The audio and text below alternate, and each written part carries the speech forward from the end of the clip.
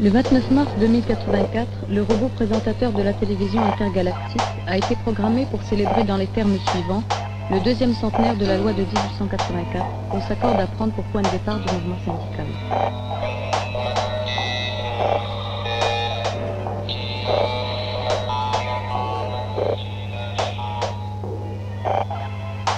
Perplexes ils étaient, ceux qui avaient reçu commande d'un film consacré à 100 ans de syndicalisme en France, et qui avaient imaginé de sauter carrément encore un siècle. Sans doute un peu écrasés par la difficulté, et peut-être la crainte de se dire où ils en étaient, ils fouillaient dans leur machine pour se demander plutôt où ils en seraient question ne pouvait prendre que la forme d'hypothèse. Après avoir jeté un certain nombre d'idées aux quatre vents, ils en avaient retenu trois, dotées chacune d'une couleur. Elles s'articulaient sur un certain nombre de mots recueillis au cours d'une petite enquête préalable. J'aime pas le folklore. Oh, moi j'aime pas euh, la politique. Enfin, certaines politiques. J'aime pas le bavardage insipide. Les stéréotypes, les choses rigides. La grisaille euh, des syndicats de manifestation. Parce que tout est un peu gris. L'hypothèse grise, c'est l'hypothèse crise. Une crise dont on ne sort pas. Le système de couverture sociale permet d'en atténuer les effets au coup par coup, mais l'imagination s'y épuise. Quand on a besoin de toute son énergie pour se maintenir à flot, il n'en reste guère pour inventer l'avenir. Bien sûr, la crise peut s'exaspérer jusqu'à l'explosion sociale ou nucléaire. Là, le raisonnement s'arrête, forcément. Il y aura peut-être un syndicat des scorpions, puisqu'on peut dans le monde, mais disons que ça nous concerne moins. Non. Le plus probable, dans cette hypothèse, c'est une société peureuse qui ronronne et se donne de fausses sécurités dans l'espoir d'un équilibre toujours remis en question. Là, le syndicat est au mieux une organisation puissante et protectrice, efficace à sa manière, qui utilise les techniques de pointe pour gérer vos intérêts, garantir votre emploi, vous assurer le maximum de confort. Vous en remettez à lui, il prend pour vous les décisions qui règlent votre sort. Ce syndicat-là ne se mêle pas d'inventer une autre société. La société, elle est comme elle est. Il y a toujours des nantis, toujours des exclus, il ne peut pas être partout, n'est-ce pas? Et les marginaux n'ont qu'à être comme tout le monde mais c'est un syndicat qui a du poids en face des banquiers, en face des patrons, en face du pouvoir, quel que soit le pouvoir. Il a aussi des traditions, il les cultive, parce que la nostalgie du passé est bien pratique pour occuper la place de cette nostalgie de l'avenir qu'en d'autres temps on baptisait révolution. Alors le cérémonial syndical devient aussi lourdin que celui de la cour d'Angleterre. Il y a toujours des congrès, des meetings, des défilés, des mots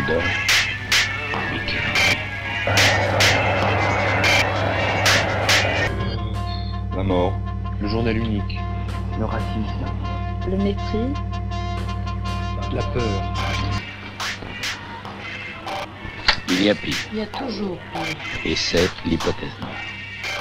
Ça peut être le fascisme, ça peut être le stalinisme. On connaît. Et parce qu'on connaît, c'est dans une certaine mesure moins dangereux. On peut espérer qu'on le verra venir. Ce qu'on voit moins venir, c'est un monde où la technique a pris la place des idéologies. C'est peut-être pour ça, pour la rime, qu'on l'appelle désormais technologie. Cette technologie, l'appropriation de cette technologie, à qui doit-elle servir, qui doit en contrôler l'évolution, a été la grande question de la fin du XXe siècle, son véritable enjeu.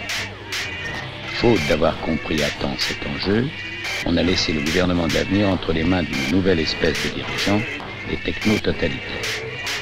Ça n'a pas été sans à coup. Le prix à payer a été lourd. On se souvient des grandes révoltes ouvrières des années 80, des années 90 et de leur répression. On en parle maintenant avec la même désolation condescendante que des canuts qui balançaient dans le Rhône les premiers métiers à tisser.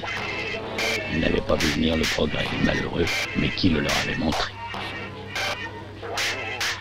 Aujourd'hui, tout baigne. Il ne manquait plus de rien. L'effort, la fatigue excessive, la pollution, les files d'attente, l'agressivité sont des choses d'un autre âge. Vous avez à domicile plus d'images que vos yeux ne peuvent en absorber et plus d'informations que votre mémoire ne peut en retenir. À quoi bon une presse libre, une radio libre, une télé libre? Ça fera encore plus d'informations, il faudrait se mettre à choisir, à réfléchir, peut-être à s'indigner. L'indignation aussi est d'un autre. L'État est une machine nourricière, bien huilée, et le syndicat est simplement le mécano de cette machine, celui qui détecte les petits à les petites pannes, et qui ne peut même pas imaginer que la machine serve à autre chose. En fait, de syndicat, il n'y a plus que le nom. Le véritable syndicalisme est mort à l'aube de l'an 2000. Quand à force de se tromper d'adversaires, catégorie contre catégorie, nationaux contre immigrés, hommes contre femmes, organisation contre organisation, les héritiers du mouvement ouvrier ont fini par perdre définitivement la confiance d'une classe où ils étaient déjà minoritaires. Les boulons qui volaient dans les ateliers de l'hiver 1984 ont porté loin, ils ont fini par fracasser l'image même de l'organisation syndicale. Les techno-totalitaires n'ont plus qu'à ramasser les morceaux. Troisième hypothèse. J'aime bien la création, la nouveauté, La réflexion, le doute, Le tir à l'arc. le dialogue, la réflexion, J'aime l'amour, l'humour, les grands espaces. l'Europe. J'aime qu'on me respecte, j'aime apprendre et apprendre aux autres. le cinéma. Très enthousiaste, même s'il n'y a pas de quoi. Il lui fallait une couleur, on a choisi hypothèse bleue, mais avec bien des précautions. Le coup des lendemains qui chantent, on nous l'a tellement fait qu'on finit par se sentir un peu bête à seulement imaginer un avenir qui ne soit pas totalement catastrophique.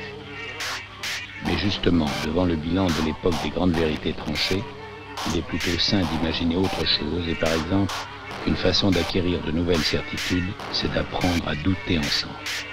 La fameuse technologie n'est pas obligatoirement destinée à ceux qui en attendent une forme nouvelle et particulièrement sournoise de pouvoir. Elle commence sous nos yeux à se révéler comme un fabuleux instrument de transformation du monde, et cette transformation englobe la lutte contre la faim, contre la maladie, contre la souffrance, la lutte contre l'ignorance et contre l'intolérance. C'est encore une lutte, mais dans les termes du 21e siècle, pas du 19e. Alors, ce que pourrait dire le robot présentateur de 2084, c'est ceci. Au fond, le XXe siècle n'a pas existé. Il n'a été qu'une longue, une interminable transition entre la barbarie et la culture. Aux années 80, ceux qui ressentaient encore en eux la colère contre la misère, contre l'injustice des sociétés industrielles, avaient raison. Ceux qui pressentaient l'espoir de sociétés différentes avaient aussi raison. Le rôle des syndicats a été de jeter un pont entre cette colère et cet espoir. Ils ont été l'instrument de cette nouvelle lutte, le lieu où les imaginations se rencontraient pour instaurer de nouvelles solidarités, où des gens cherchaient avec d'autres gens comment vivre ensemble sans nous diminuer, sans nous mutiler, comment faire bon usage de nos différences, comment mieux maîtriser le temps. C'étaient des syndicats. Qui ne cherchaient pas à imposer une parole sacrée, ils mettaient des groupes en relation avec des groupes, avec des faits, avec des idées, ils travaillaient à une meilleure information, une expression plus juste de chaque projet particulier à l'intérieur d'un ensemble cohérent, et de projet en projet, les idées se mettaient à vivre. Tu me la presse? Oui, bon. Les lendemains qui informatisent peuvent être aussi redoutables que ceux qui chantent. Et tout ceci n'était qu'une façon de célébrer à notre manière cent ans de syndicalisme, en parlant moins de ce qu'il a fait que de ce qu'il lui reste à faire. Rien n'est programmé. Les trois hypothèses sont ouvertes devant nous et sans doute bien d'autres meilleures pire. Le robot présentateur de 2084, celui de deuxième centenaire, n'est pas non plus programmé d'avance. C'est nous qui le programmons jour après jour. Ce qu'il dira, c'est ce que nous aurons voulu qu'il dise, si nous savons le vouloir. Et à condition de nous dépêcher un peu, nous avons juste un siècle.